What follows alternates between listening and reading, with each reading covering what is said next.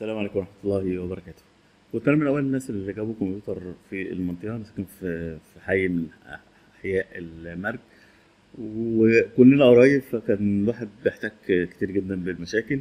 زائد إن أنا اشتغلت فترة صغيرة في موضوع صيانة الكمبيوتر. ففي شوية مواقف طريفة آه، قلت أشاركها معاكم. الموقف الأول كان في واحد آه، جاي وعايز يتخانق. ليه يا عم؟ أنا لسه شاري الكمبيوتر والفيفا بلعبها يعني الكمبيوتر شغال كويس وبيلعب فيفا كويس لكن المشكلة إن هو لما بيدخل جول الجماهير مش بتسقف. يا عم عنها سقفت يقول لك لا أنا كنت بلعب فيفا عند أخويا ولما بيدخل جول الجماهير بتسقف. فشلنا النسخة وسطبنا نسخة تانية.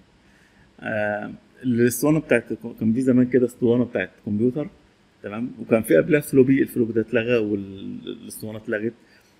ف فكان في اللي هو المهندس اللي كان قاعد كان في اسطوانة كده بتاعت صيانة فكان هو حاطط ال- الجزء اللي بيلمع ده اللي بيبقى فيه داتا وده ما ينفعش تخدش كان بيحط الوش اللي بيلمع ده لفوق والجزء اللي فيه كتابة كان بيحطه لتحت. فالراجل اللي هو عند بتاع يعني صاحب الكمبيوتر يروح قالب وهما الاتنين بيتكلموا عادي يروح قالب الاسطوانة ويخلي الوش اللي بيلمع لتحت. فالراجل بتاع الصيانه وهو بيتكلم يروح قلبها ويخلي الوش اللي بيلمع لفوق. فالكلام ده اتكرر خمس مرات. فالراجل بيقول له خلي بالك الوش اللي بيلمع ده هو اللي عليه الداتا وهو ده لو اتخدش هيبوظ. فالراجل قال له ما أنا لو خليته لفوق هيبوظ أكتر. قال له هيبوظ أكتر ليه؟ قال له عشان أحط عليه كوباية القهوة أو كوباية الشاي. قال له يا عم يعني ما حبكتش عندك المكتب كله فاضي. مصر تحط ال- القهوة الشاي على ال- الاسطوانة.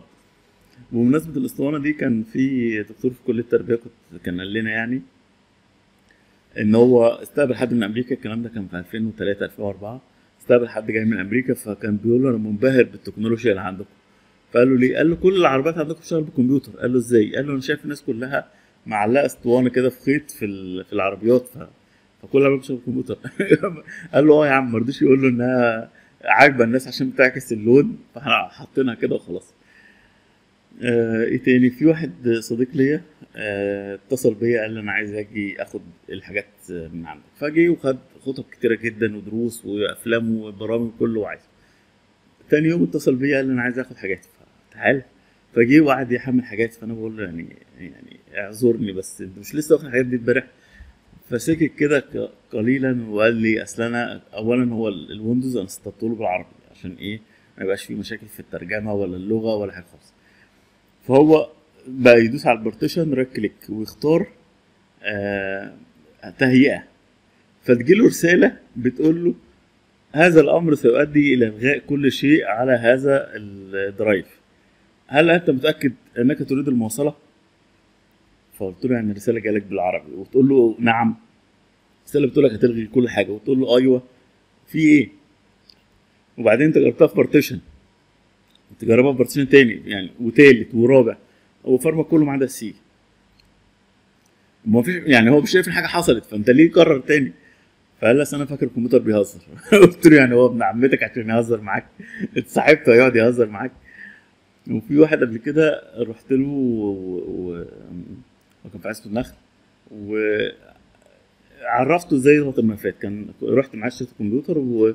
وكان عنده مشكلة في المساحة لأنه عمال مركز على موضوع الأفلام فعنده مشكلة فعرفته إزاي يضغط الحاجة. تمام؟ فبعد شوية اتصل بيا قال لي المشكلة أكبر ما فيش مساحة. فبقول له إزاي؟ أنت بتضغط يعني المفروض توفر مساحة.